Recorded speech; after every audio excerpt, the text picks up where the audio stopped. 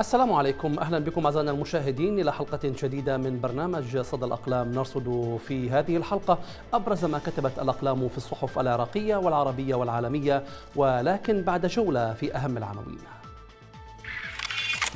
في صحيفة الشرق الأوسط ترقب في بغداد عشية ذكرى مقتل سليماني وطهران تشيد بتحركات ميليشياتها. اندبنتنت عربية قالت تأهب أمريكي لهجوم إيراني محتمل في الشرق الأوسط.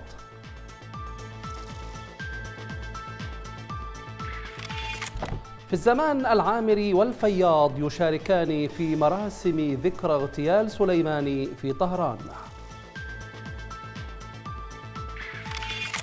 العرب الجديد قالت العراق العثور على لغم بحري ملتصق بسفينة نفطية أمام موانئ البصرة.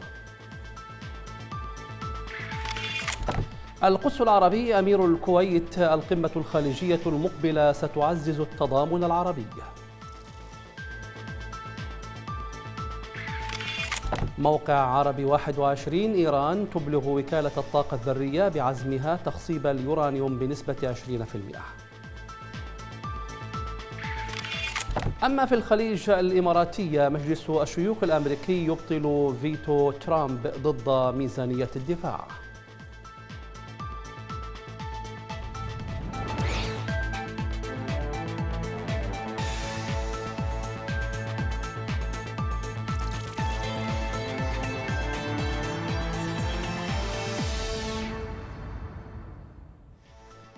في حواره التلفزيوني الأخير بدا زعيم ميليشيا حزب الله اللبناني حسن نصر الله جنديا في الحرس الثوري الإيراني أكثر مما هو في جيش الولي الفقيه. فقد بذل جهدا مضاعفا في محاولته تطويع التاريخ وتزييف الكثير من وقائعه ومجرياته بما يؤدي إلى تطويب قاسم سليماني كأيقونة للمقاومة بوصفه الملهم والمخطط والراعي لها. علي شندب يقول في موقع العربية إن حسن نصر الله يحاول السطوة على تاريخ المقاومة العراقية ونسبه إلى سليماني. استغرق نصر الله وقتا طويلا في صناعة صورة خيالية أسطورية لقاسم سليماني فنسب إليه كل ما يعتبره بطولات من سوريا ولبنان إلى العراق واليمن وصولا إلى فلسطين وخصوصا حركات المقاومة وفق تعريف نصر الله. الذي أظهر بعض هذه الفصائل أشبه ببندقية للإيجار. فقائد فيلق القدس الإيراني دمر الكثير من المدن والعواصم العربية دون أن يطلق رصاصة واحدة باتجاه القدس. إنه التزييف الذي استفز عنفوان وكرامة أهالي غزة فدفعهم إلى تمزيق صورة سليمان وإنزالها والدوس عليها تماما كما فعل ذلك سابقا شباب الناصرية وبغداد ومحافظات العراق بصور خميني وخامنئي وسليماني. في حين اعتبر نصر الله أن نشر صور سليماني ابتدأ في سياق الحرب على داعش في سوريا والعراق.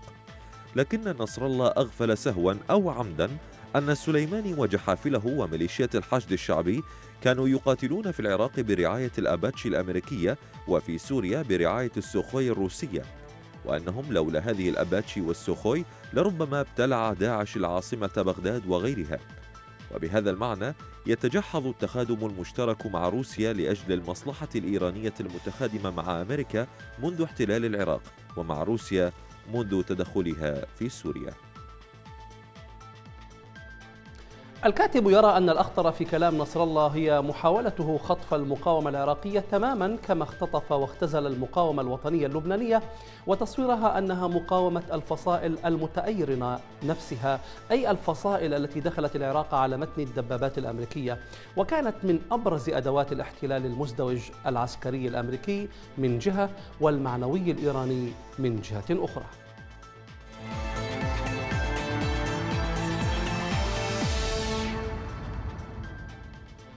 ثم يعود الكاتب علي شندب ليقول إن الاحتلال المعنوي الإيراني سمح لنصر الله وسلطته السياسية والدينية في تأمين المخارج والفتاوى والتسويغات لكل الخطوط والتيارات العراقية المتأيرنة في هذه التجربة. فإيران دعمت كل المسارات وقالت لجميع هؤلاء اتكلوا على الله ونحن معكم لأن كل هذه الخطوط كانت ستؤدي إلى نفس الهدف.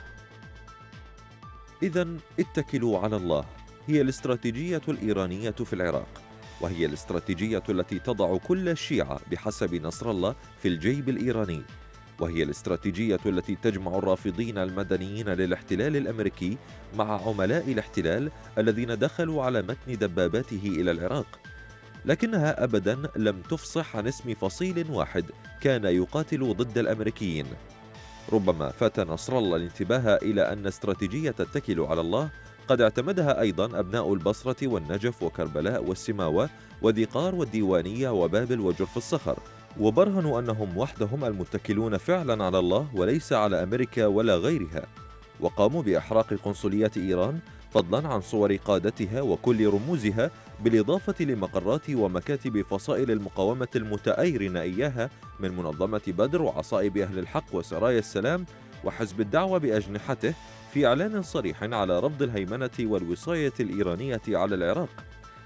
فهل وصل الإفلاس لدى نصر الله إلى درجة تجعله ينكر الجغرافيا ويزور التاريخ ووقائعه الدامغة وهل وصل به الأمر إلى درجة تجعله يقول إن المقاومة العراقية هي من صناعة إيرانية ومن صناعة جنرالها قاسم سليماني؟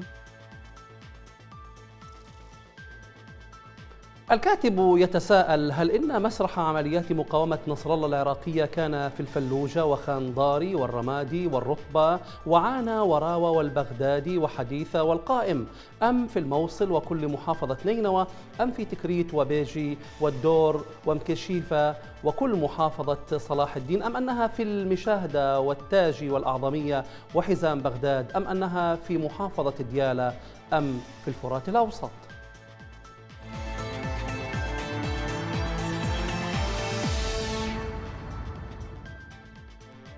الكاتب يتساءل عن أي مقاومة عراقية يتحدث حسن نصر الله الذي يريد أن يصادر كل ما فعلته المقاومة العراقية وينسبه لقاسم سليماني بهدف تطويبه قائدا لحركات المقاومة وملهمها ومخططها من جهة وتحقيره لكل من لا يواليها من جهة أخرى.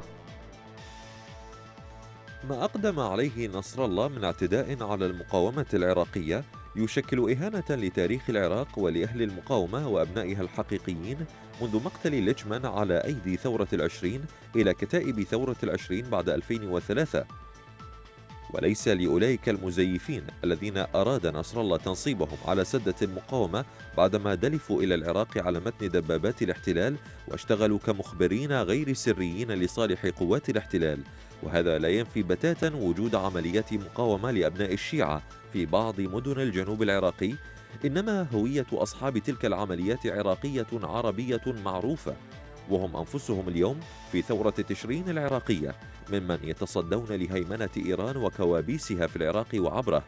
لقد هرب نصر الله وتهرب من تسمية فصيل واحد بحجة عدم نسيان البقية. والحقيقة أنه لا يوجد فصيل حقيقي واحد يمكن أن يسميه نصر الله. والحقيقة أيضا أنه على فصائل المقاومة العراقية يقع عاتق الرد حتى لا يعتبر صمتها تسليما بمصادرة نصر الله لها. فأثناء تغطيتنا لغزو العراق واحتلاله طيلة عام 2003 ومن ثم متابعتنا الإعلامية اللصيقة لملف العراق لغاية عام 2010 كان يردنا عشرات العمليات وكنا نبثها خلافا لادعاءات نصر الله. وقد حصل امتناعنا عن بث عمليات للمرة الثانية لأنها وردتنا باسم فصيل آخر. الكاتب يشير إلى أنه بعد التدقيق بهذه الفيديوهات اكتشفنا أن بعض فصائل نصر الله العراقية كانت تشتري بعض فيديوهات العمليات من بعض الفصائل وتقوم بلصق شعاراتها وأدبياتها بهدف بثها كعمليات منسوبة إليها.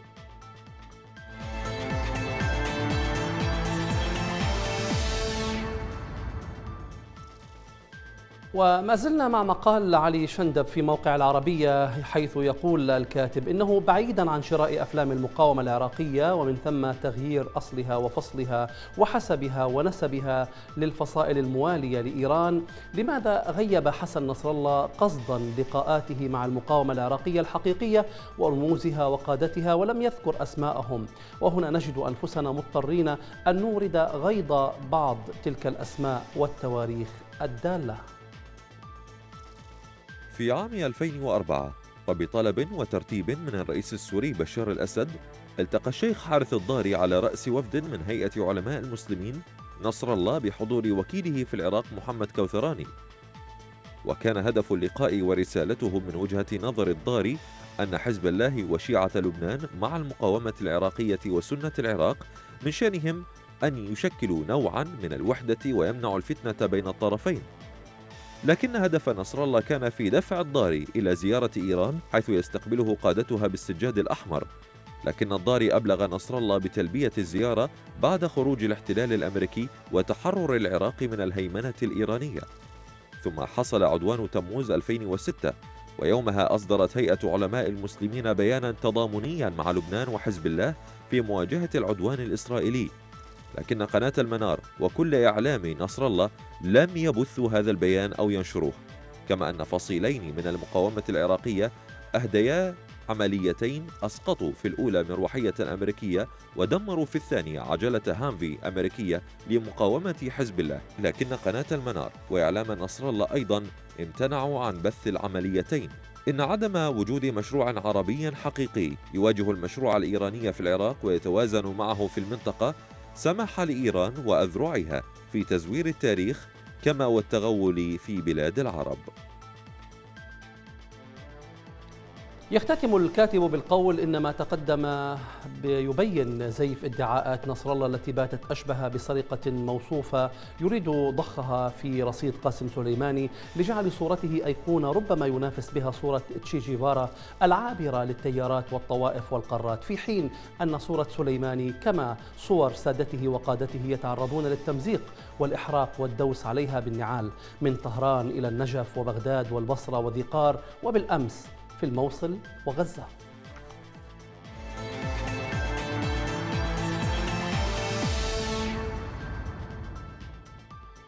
من العراق وإليه تتسارع الزيارات ذهابا وايابا وتزداد معها التصريحات والشائعات والتهديدات المتبادلة واستدعاء لقوات وعتاد جعل العراقيين يحبسون أنفاسهم انتظارا لأزمة تلوح في الأفق أو انفراجة تحافظ على التسوية.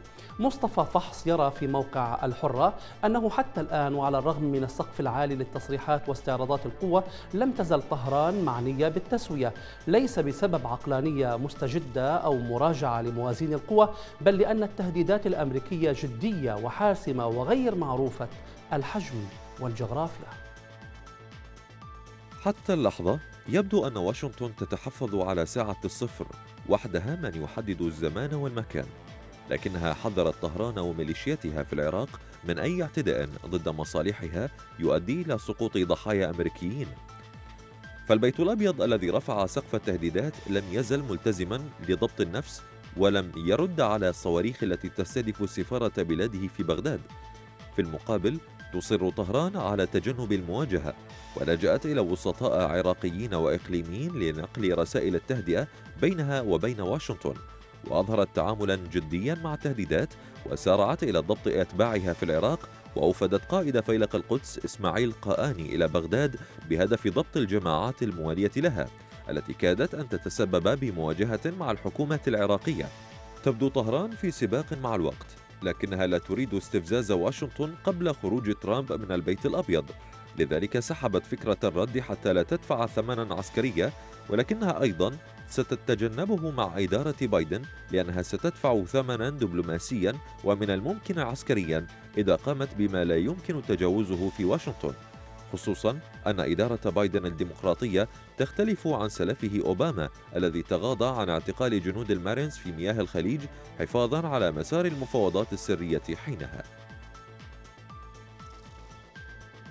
الكاتب يرى أن حبس الأنفاس سيستمر. ستتملص طهران من أي احتكاكات قد تستغلها واشنطن.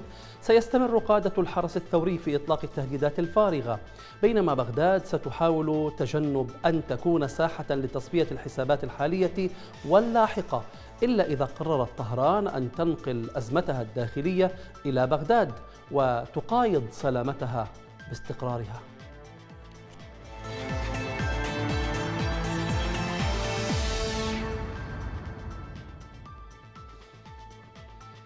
نشرت صحيفة التايمز البريطانية افتتاحية استشرفت فيها سياسات الرئيس الأمريكي المنتخب جو بايدن في منطقة الشرق الأوسط المضطربة. ولفتت الصحيفة إلى أن الشرق الأوسط من المناطق القليلة في العالم التي تشهد تحسرا على رحيل الرئيس دونالد ترامب. بحسب الصحيفة فإن إدارة بايدن ستواجه مواقف متشككة وعدوانية من بعض حلفاء الولايات المتحدة الرئيسيين لو حاول الرئيس المنتخب كما ألمح العودة لاتفاقية النووية مع إيران وأشارت الصحيفة إلى وجود أمرين يعقدان مهمة بايدن. الأول استئناف إيران برنامجها النووي وسيطرة التيار المتشدد على الأمور في طهران. والثاني تعامل العالم العربي مع الأخيرة كعدوه الأكبر وليس الاحتلال الإسرائيلي. وترى الصحيفة أنه رغم الدبلوماسية المكثفة لحل المسائل الفلسطينية من قبل الإدارة الديمقراطية السابقة فسيجد بايدن أن العالم العربي لم يعد يركز على تلك القضية.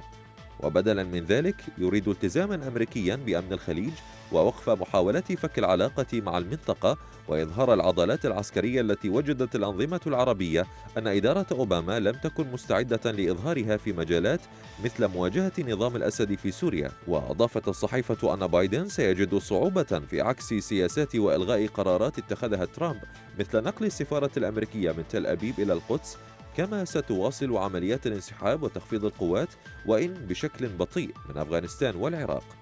وبحسب الصحيفة فإن إدارة بايدن لن تكون قادرة على فرض دور أمريكي في المسألة السورية المعقدة أو مواجهة فاعلة ضد التأثير الصيني والروسي في المنطقة.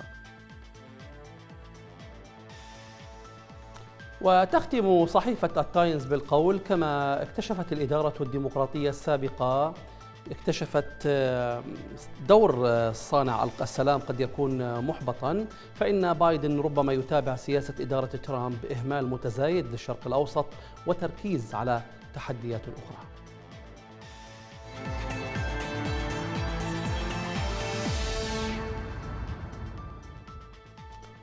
اكتشف صياد سمك في إندونيسيا غواصة مسيرة درون صغيرة. يقول الخبراء إنه من المحتمل أن تكون صينية في المياه على طريق بحري استراتيجي من بحر جنوب الصين إلى أستراليا.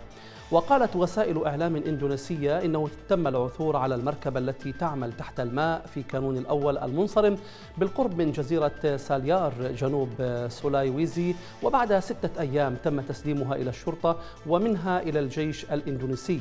وقال المحلل الأمني الإندونيسي محمد فوزان إن هذه الغواصة كانت على الأرجح ترسم خرائط لطرق الغواصات المستقبلية بالنظر إلى أنها وجدت بعيدا عن المياه الصينية وفي طريق بحري مهم بين الصين ومدينة دارون. أقصى شمال أستراليا. ووفقا لوسائل الإعلام الحكومية الصينية فإن استخدام الميكانيكا غير الكهربائية وانخفاض استهلاك الطاقة يعني أن مثل هذه الغواصات الصغيرة يمكن استخدامها لأشهر أو حتى لسنوات طويلة.